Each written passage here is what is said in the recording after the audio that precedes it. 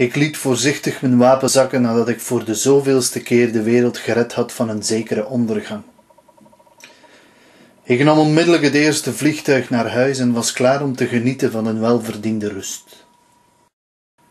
Toen ik aan mijn bureau aankwam, zag ik dat mijn secretaresse het dossier voor de volgende opdracht alweer had klaargelegd. Geen nood. Ook deze klus zou ik wel klaren. Ik besloot echter eerst nog te genieten van een lekker glas whisky en van eens vijf minuten onderuit te zakken.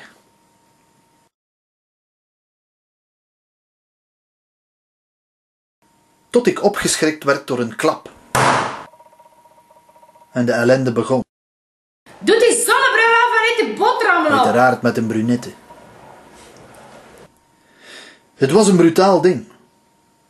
Maar ze had een punt.